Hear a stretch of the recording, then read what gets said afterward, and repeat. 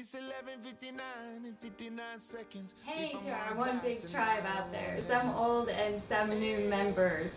Um, thanks for spending the next few minutes with me. I normally myself don't spend a lot of time going to home parties to try to buy items. However, today I'm going to try to sell you some jewelry. But wait, this is different.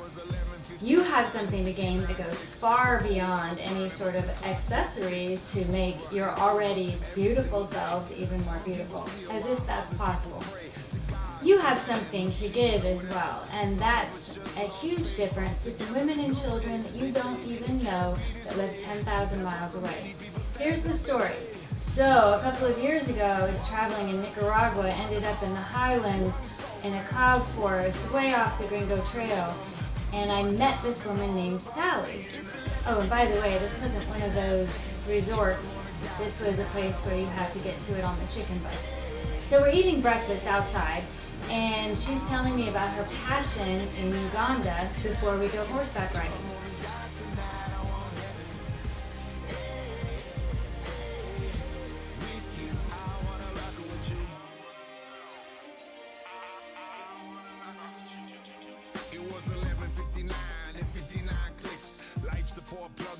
And I have some new accessories, my favorite necklace, and some of my favorite bracelets. And look, I have a bag to take with me, and a scarf in case I need to do something with hair. So, anyway, let's talk about the artisans in Uganda and what they're up against. We all have struggles, but if we were lucky enough to take our first breath in a first world country, it's likely that our struggles are significantly less than our friends who are in the tribe in Uganda.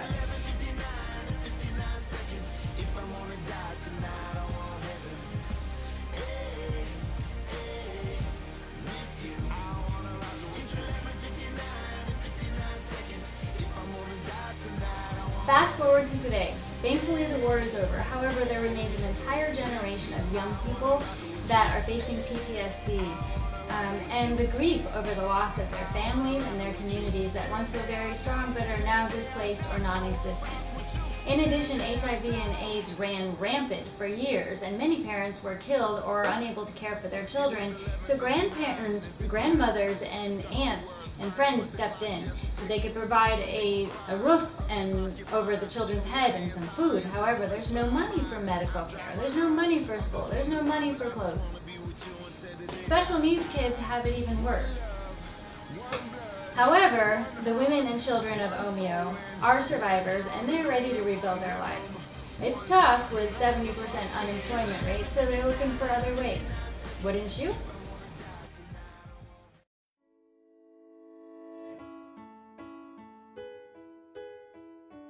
I'm back. If you ever have any trouble with your business attire, get a little pizzazz, I'm just saying there's plenty of opportunities for you to do that. So, I'm a fan of giving, no matter what your intent is. Um, but a lot of times we give just food or money. And especially in the case of Africa, if you were a child the same time I was, your parent told you, you better finish your food, there's starving kids in Africa. So now we're sending food, we're sending money. However, what I'm most interested in is giving a boost to someone who is trying their best to get above the water. And really that's all someone needs so that they can save themselves in most situations. And in the end, that's what we all want, right? We all want to know that there's connection, we all want to know that there's purpose, and we all want to know whatever we did mattered. So giving to someone to save their life is important, but giving a boost to someone to make their life can be argued to be even more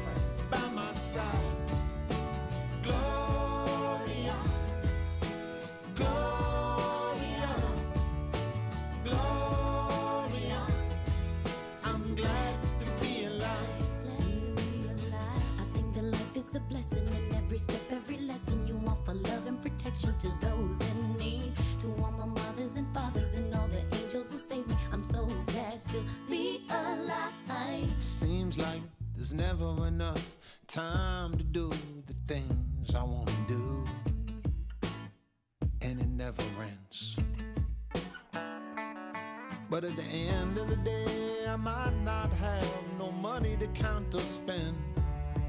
But I know I can count